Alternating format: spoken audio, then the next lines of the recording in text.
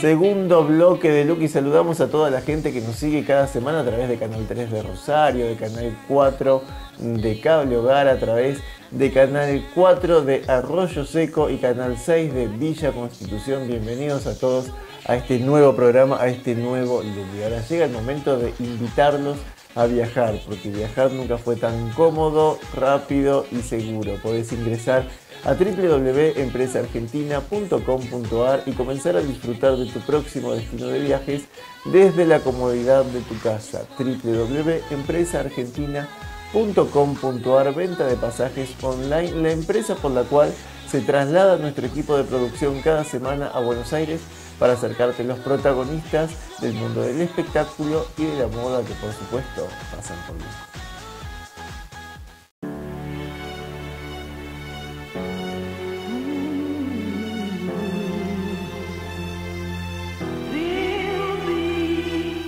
Miren con quién estoy. Con una de las personas de la tele del momento. Vicky Turulla, ¿así es? Vicky Turulla, Más conocida en exactamente. este momento, no sé si vulgarmente, pero es el apodito que tenés en todo el país.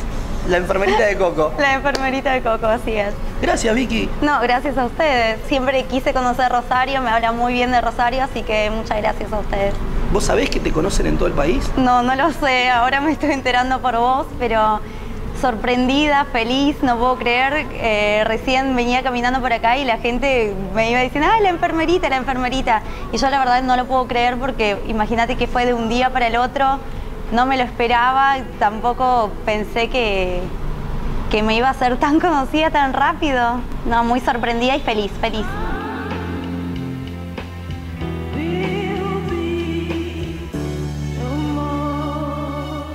Contémosles a los que no te conocen, vos eh, sos de Ucrania.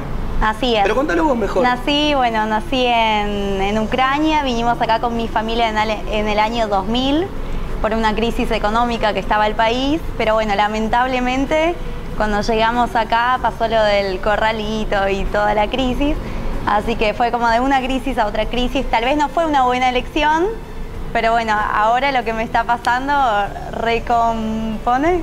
Eh, Re- recompensa, Recompensa todo eso. todo lo malo que pasamos, así es.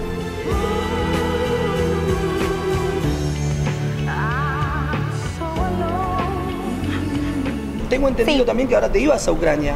Sí, me estaba por, mira, me estaba por ir a Ucrania ahora, estaba juntando la plata y se dio la casualidad que lo conocí a Pablo Cerruti, a mi manager, y salió todo esto de año